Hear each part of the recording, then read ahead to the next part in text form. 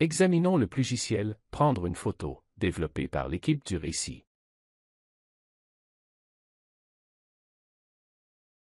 Dans cet exemple, l'apprenant doit fournir les détails d'un problème. Le dispositif peut être utilisé dans tous les contextes où la barre de menu Atto est disponible dans Moodle. La prise de photo est instantanée et l'image peut être recadrée facilement.